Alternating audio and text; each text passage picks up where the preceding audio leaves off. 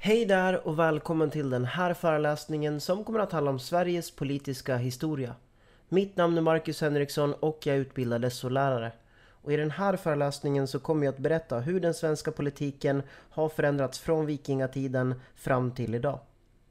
Jag kommer sen som vanligt att avsluta med lite diskussionsfrågor och mina källor. Men låt oss börja med vikingatiden. På vikingatiden så var det så att samhällena bråkade ofta med varandra. Sverige som land existerade inte utan var uppdelat i ett antal mindre områden som kontrollerades av så kallade hövdingar. Och för att minska våldet i samhället så valde man att skapa någonting som heter tinget. Och tinget är då ett ställe eller en plats där i princip alla viktiga politiska beslut fattas. Allt ifrån vem som skulle bli Sveriges nästa kung till olika typer av marktvister och liksom fejder och fighter mellan olika typer av släkter. Tinget existerade dock inte bara i Sverige utan i andra nordiska länder också som exempelvis Norge, Danmark och Island. Och tinget var alltså då en väldigt viktig plats ända in på 14-1500-talet. För under 1400-talet så får Sverige sin första riksdag, vilket sker då under det så kallade Arboga riksmöte år 1435.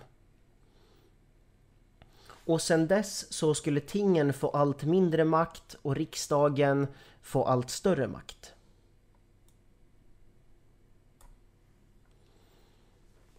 Och den svenska riksdagen var ju från början en så kallad ståndsriksdag. Det vill säga att de fyra olika stånden fanns representerade där och hade varsin röst. Och de fyra stånden är alltså då prästerna, adeln, borgarna, det vill säga de som bor i städerna och bunderna. Och sådana här riksdagar finns nu inte bara i Sverige utan bland annat i flera andra europeiska länder. Bland annat i Frankrike, Italien, i Spanien, i England. Men under 1400-talet så kommer alltså då det här tänkandet till Sverige. Och vi väljer då att köra liksom på samma sätt. Och de här fyra stånden sitter alltså då och beslutar om de viktigaste stora eh, sakerna som sker i Sverige. Om Sverige ska gå i krig med andra länder, ifall man ska höja skatten eller inte och sådana saker. Och som jag nämnde tidigare så hade alla de här fyra olika grupperna eller fyra olika stånden lika stor rösträtt. Även fast det då var ett väldigt stort, vad ska man säga, eh, en stor skillnad i antal mellan de här olika grupperna. Ni ser här att prästerna var ungefär bara 1% av befolkningen, adeln var också bara ungefär 1% av befolkningen, borgarna ungefär 5% av befolkningen och bönderna ungefär 93% av befolkningen på ett ungefär. Och de här siffrorna varierar såklart lite beroende på vilket land vi tittar på, men i princip så ser det ungefär likadant ut. Det vill säga att prästerna och adeln är en väldigt liten del av befolkningen medan borgarna och framförallt bönderna utgör majoriteten inom landet. Ändå så har de lika många röster tillsammans som prästerna och adeln. Kungen hade utslagsrösten, det vill säga det att blev det 2-2 i någon form av beslut, då var det kungen som fick bestämma vilken grupp som skulle få rätt.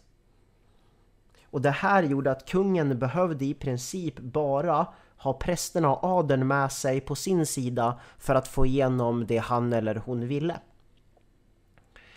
Det här gjorde det jättesvårt för borgarna och bönderna att förändra någonting och det var också de därför som inte var, vad ska man säga, skattefria. Prästerna och adeln hade blivit skattefria just därför att det var den som kungen oftast förhandlade med och kom överens med. Eh, I och med att man behövde bara de två personernas, eller de eh, liksom, gruppernas röster för att få igenom den politik som man ville. Det här gjorde att borgarna och bunderna i väldigt många länder kände sig väldigt, vad ska man säga, åsidosatta. De hade ingen liksom stor eller viktig makt. Och, och, det skulle sen leda till olika typer av revolutioner i flera länder, bland annat då franska revolutionen 1789. Men det här systemet var alltså då ett system som inte bara fanns i Sverige utan i flera andra europeiska länder, men fungerade på ungefär samma sätt. Och under Gustav Vasas tid så tar man även nu bort det här med att folket och de här olika stånden skulle bestämma vem som ska bli kung. Så under 1500-talet så går Sverige Eh, från att vara ett valrike, det vill säga att man valde vem som skulle bli kung eller drottning, till att bli ett så kallat arvsrike. Det vill säga ett rike som går i arv från far till son och då till äldsta sonen. Och det var för att Gustav Vasa själv ville ju att hans familj och hans släkt alltid skulle styra Sverige genom alla tider. Därför valde han att göra den här förändringen.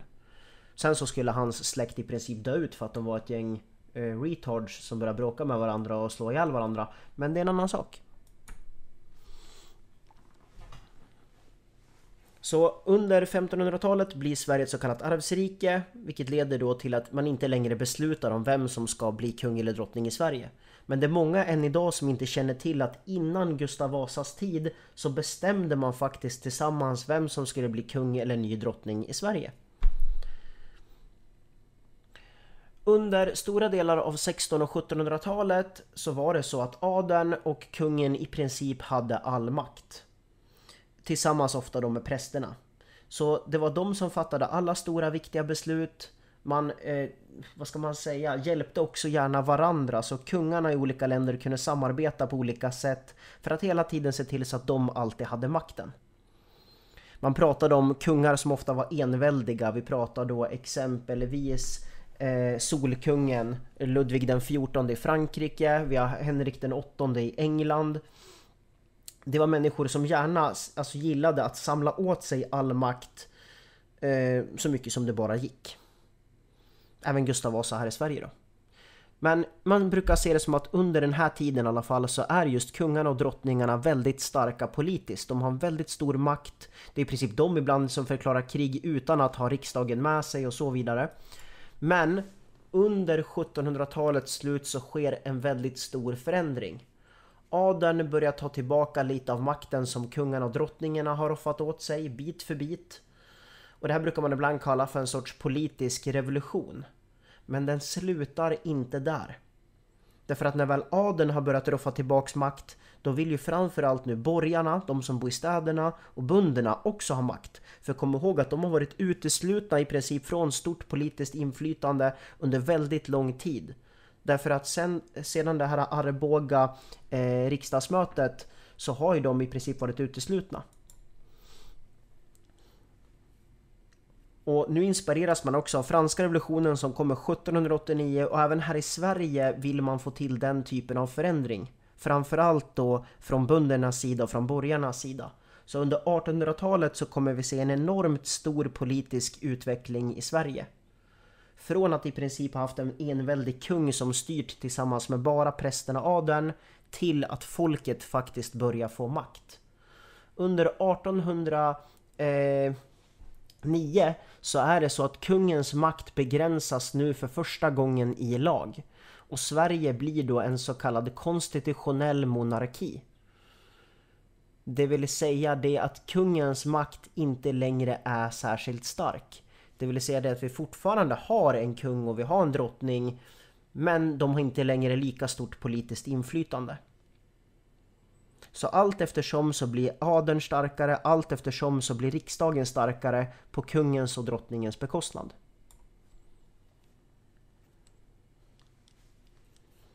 För överallt i Europa nu så sker olika typer av revolutioner.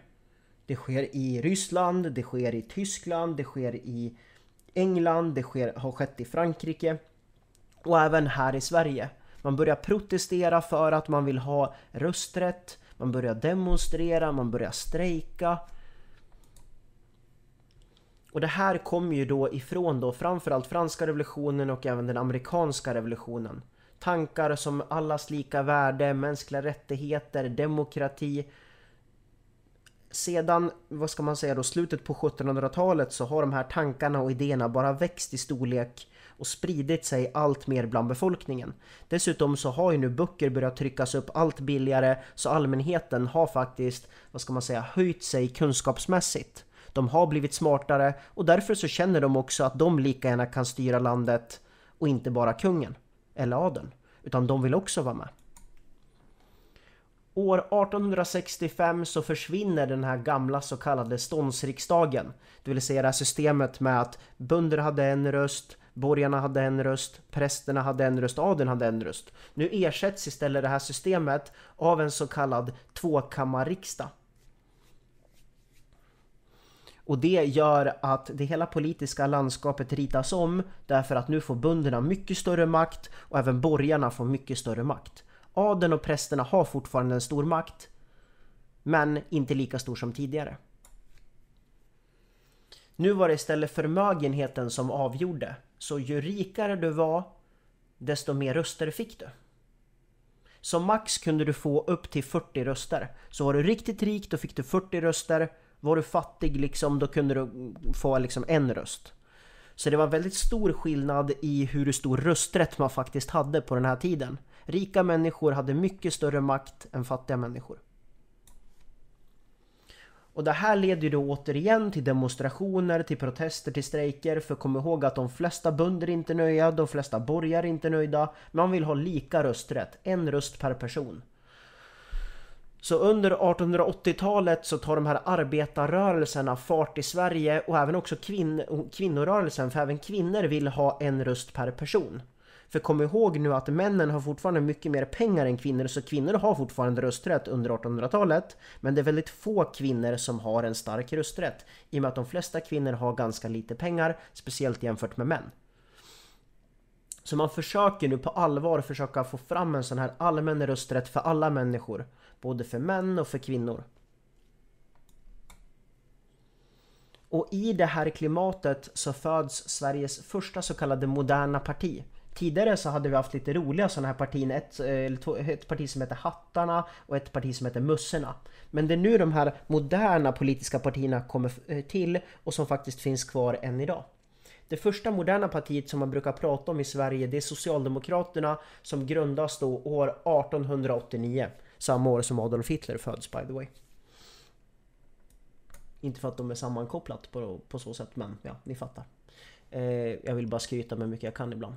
Eh, vi går vidare. Parlamentarismen införs i Sverige år 1917 då dåvarande svenska kungen då Gustav V accepterade den utnämnda regeringen och nu brukar man se det som att kungens makt är helt bortblåst. Det vill säga att kungen har gett upp alla de här privilegierna och den makten han har haft över folket och man väljer nu att släppa det helt. Från och med nu så är det så att Sverige är verkligen en demokrati men vi har fortfarande inte fått igenom det här med allmän rösträtten. Men det kommer alldeles kort därefter. Så kom ihåg det här årtalet 1917. För 1918 så är det så att män får nu allmän rösträtt. Men det var fortfarande så att det gällde bara de män som hade gjort lumpen. De män som inte hade gjort lumpen, de fick sin rösträtt år 1922. Så man, det är därför som jag skrivit upp båda de årtalen där.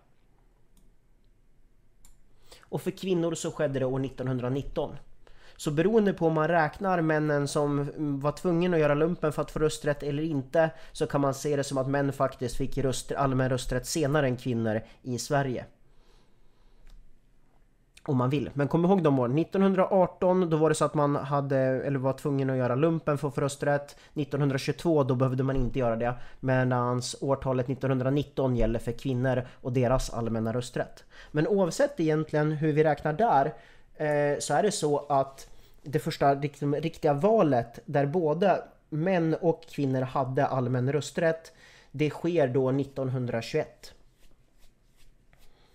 Och från och med då år 1919 så har ju då både män och kvinnor nu en röst per person och inte längre det här inkomstkravet eh, som krävdes för att man skulle då få eh, rösträtt. Eller att den skulle vara olika stora så att tidigare då hade man upp till 40 röster per person men från och med nu då gäller det bara en röst per person. Och det här kallas också ibland för rösträttsreformen. Men det finns dock vissa undantag som man bör nämna i sammanhanget. Det vill säga det att inga omyndigförklarade personer fick rösta och det skulle faktiskt gälla ända fram till år 1989. Samma år som jag föddes och samma år som man rev Berlinmuren. Um, inga bidragstagare fick heller rösta och det gällde ända fram till år 1945 då andra världskriget slutade. Så det var liksom undantagen från vilka som fick rösta. Och tittar vi på hur många vad ska man säga, människor eh, som fick rösta så ser ni eh, de här årtalen och de här siffrorna. Det här är då andelen människor som faktiskt hade rösträtt under de här åren. Så 1911 då var det ungefär 20% av befolkningen som hade rösträtt. Eh, I och med att det var då det här inkomstkravet och ju rikare du var desto mer pengar fick du. Men 1921 då både män och kvinnor nu har fått deras allmänna rösträtt, då är det ungefär 50% av befolkningen. Men sen när man har lyckats tagit bort de här sista kraven, ni kommer ihåg det här med omyndigförklarade grejen. Eh, då ser ni ännu ett tillhopp. Så 2009 då är det ungefär 75% av befolkningen som har rösträtt.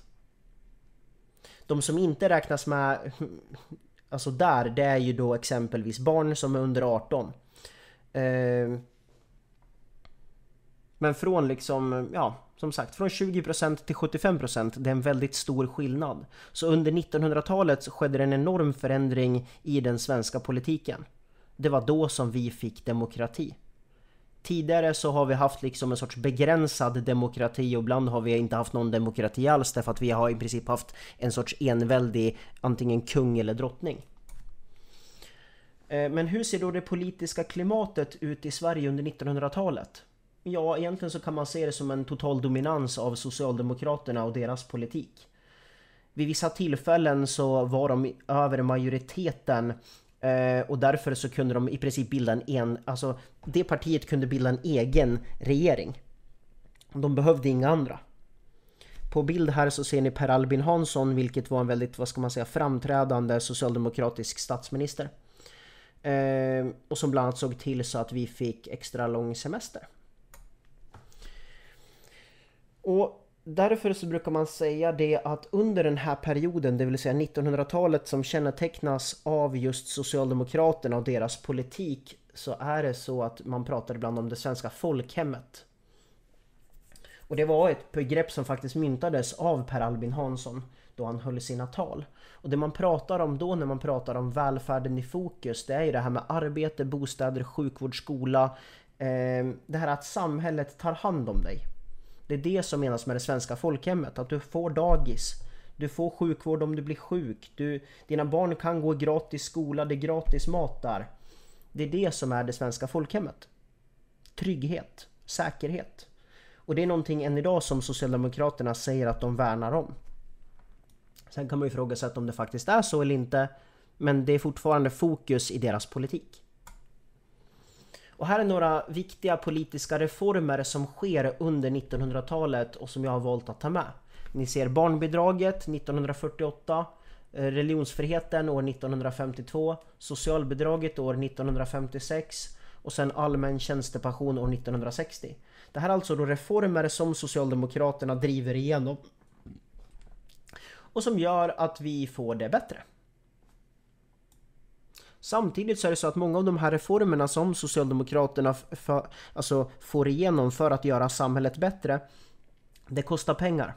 Och ibland så lägger man väldigt stora summor pengar på saker som man kanske inte egentligen ha, borde ha gjort. Vi kommer komma till det lite alldeles strax. Eh, för det här att man hela tiden väljer att lägga allt större resurser på välfärden, det får konsekvenser.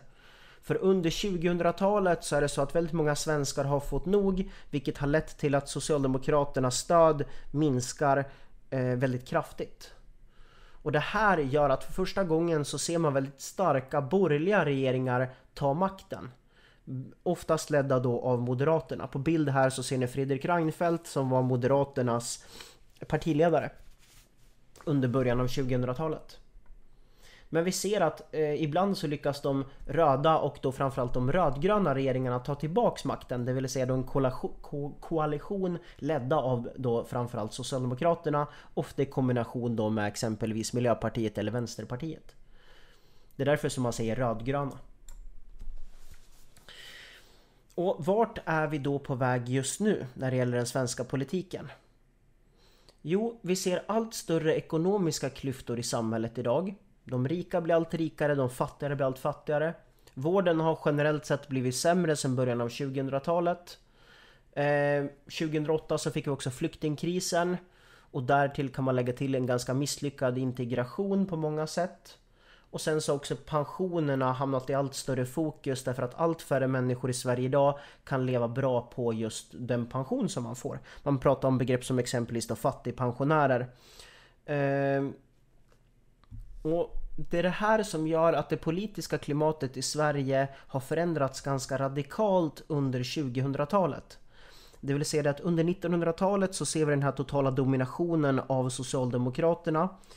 Men i början av 2000-talet så finns den inte riktigt därför att nu är det istället en växelvis, vad ska man säga, kamp mellan då de blåa, eh, ofta ledda av Moderaterna, vi har även då partier som Kristdemokraterna, eh, vi har Centerpartiet, Folkpartiet, nu kallat Liberalerna och sen så har vi Socialdemokraterna, ofta i kombination med Miljöpartiet eller Vänsterpartiet. De här två eh, bråkade väldigt mycket om makten och de var väldigt länge, alltså ungefär lika starka.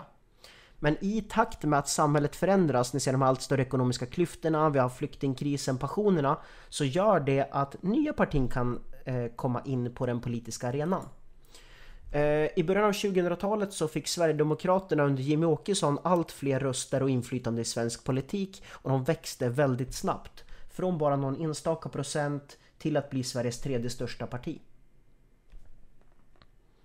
Och det här gör att de får ofta det man kallar för vågmästarrollen, det vill säga det är de som avgör om de ska stötta antingen de blåa partierna, det vill säga alliansen då, eller de rödgröna. Och nu är faktiskt frågan, finns ens alliansen kvar? För alliansen, det var ju en koalition bestående av partierna Liberalerna, Centerpartiet, Moderaterna och Kristdemokraterna. Men man säger att den sprack i början av år 2019 därför att de här inte längre samarbetade utan det var så att Liberalerna och Centerpartiet valde att stötta och stödja istället eh, Socialdemokraterna och deras eh, politiska ledare Stefan Löfven. Så det är de som idag styr Sverige. Det vill säga det är fortfarande så att Socialdemokraterna har störst makt och inflytande Eh, vi har Stefan Löfven, deras partiledare, som statsminister. Eh, men det, det, är fortfarande så att Socialdemokraterna inte har någon majoritet. Inget block har idag majoritet, varken de rödgröna eller Alliansen. Eh, så frågan är, hur kommer den svenska politiken förändras i framtiden? Just nu så styrs vi av Stefan Löfven. Men vem vet? Kanske kommer vi se nya koalitioner i framtiden, kanske kommer olika partier välja att samarbeta med andra partier än de tidigare har gjort. Vi vet inte. Men det är så den svenska politiken i alla fall har förändrats i stora drag från vikingatiden fram till idag. Och jag hoppas att ni har fått en bättre koll efter att ha tittat på den här föreläsningen. Men är det så att ni fortfarande undrar över någonting så kan ni alltid lämna en kommentar, ni kan alltid skicka ett mail till mig så lovar jag att kika på det så fort jag bara kan. För som sagt, ingen vet hur framtiden ser ut, men genom att hålla koll på historien så kan vi skapa en bättre uppfattning om hur framtiden eventuellt ser ut. Det är det som är meningen med historien, inte bara att vi ska lära oss hur det faktiskt har gått till förut, utan också att vi ska lära utav det. Så att vi hela tiden blir bättre och mer framgångsrika i framtiden. Är det så att du vill fortsätta sitta ner och diskutera det här så skulle jag rekommendera de här frågorna. Lärde du dig någonting nytt under den här föreläsningen? Vad? Vad tycker du om Sveriges politiska historia? Visste du att vi kunde rösta fram kung ända innan Gustav Vasa? Och hur tror du att politiken i Sverige kommer att se ut i framtiden? Vilka partier tror du kommer samarbeta med varandra? Och varför tycker eller tänker du så? De källor jag har använt mig av för att göra den här föreläsningen och videon är Wikipedia Politik i Sverige, jag har också tittat på eh, Youtube-videos som heter Sveriges moderna historia del 1 och 2 av Joakim Wendell. Och jag har använt en bok som heter SO-serien Samhällskunskap av Ulla M Andersson, Per Evert och Urell Hedengren. Jag önskar er alla en fortsatt bra dag. Ha det gott så länge hörni. Hej!